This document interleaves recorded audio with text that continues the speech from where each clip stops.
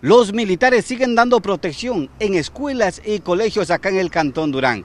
Uno de los operativos lo han desarrollado en el sector conocido como Recreo Viejo, acá cerca del municipio, cerca de la ciudadela Abel Gilbert 3. Acá nosotros hemos encontrado un grupo que está dando protección, es el grupo ECO. ¿Qué le parece? Los militares dando protección en escuelas muy bien, y colegios. Muy bien para los, para los estudiantes que siempre haya disparos y ahorita está muy bien, gracias a Dios estamos bien por el momento, no se sabe después. Estamos más tranquilos de Durán. Claro que sí, por el momento, después no se Ha sabe. bajado la delincuencia, ¿no? Un poco.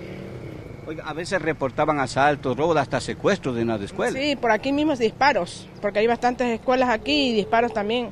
Está cerca del municipio también. Ahora estamos más seguros. Sí.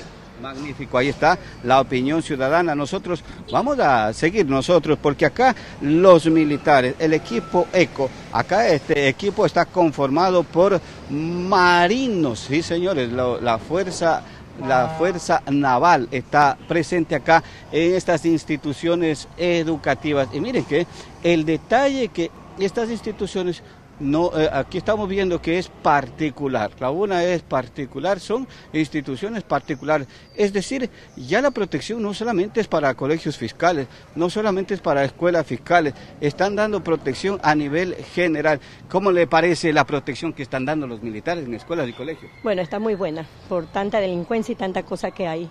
Ustedes se sienten más seguras. Claro, así es, todos nos sentimos más seguros. Magnífico, ahí está la opinión de, de los maestros que también están acá, que, que salen, otros que entran. Lo cierto es que el trabajo de este grupo ECO, conformado por efectivos eh, de la Fuerza Naval, está acá en el sector del recreo viejo, dando protección a profesores, padres de familia, estudiantes, precisamente para bajar el índice delincuencial.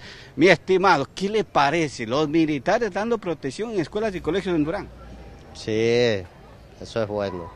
¿Cómo se sienten ustedes que están vinculados a los colegios precisamente? Nos sentimos bien porque estamos con seguridad ahorita. Antes a veces reportaban asaltos, robos, hasta secuestros en Durán.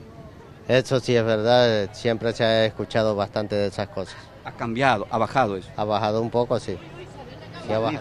Eso es, eso es lo que está generando el trabajo de los uniformados acá en el Cantón Durán. Y nosotros decirles que los militares están desplegados a lo largo de varias cuadras. No solamente están en la puerta de la escuela, en la puerta del colegio, sino que ellos se desplegan de una esquina hasta otra. Vean, oso, si nosotros podemos avanzar un poco, podemos ver que los militares están hasta la otra cuadra dando protección acá en el Cantón Durán.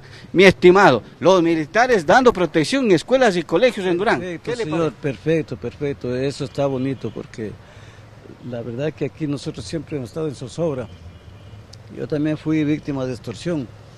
Ahora, ¿cómo está la cosa? ya, gracias a Dios está, está bastante ya pasivo, está así, ya hay como, por ejemplo, ya por trabajar ya con mayor tranquilidad.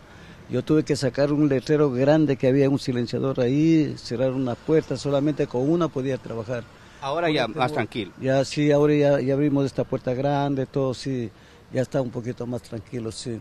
Muchísimas gracias. Ahí está la opinión de un trabajador, un hombre que tiene acá un taller mecánico. Dice que a él lo extorsionaron, pero desde que vino la fuerza de seguridad, desde que vinieron los militares acá al Cantón Durán, la situación ha cambiado, la situación ha mejorado. Hay más seguridad, hay más tranquilidad y precisamente nosotros vemos que los militares, miren, desplegados de, de una cuadra hasta la otra cuadra es un escuadrón que está bastante bien fortalecido acá en el Cantón Durán.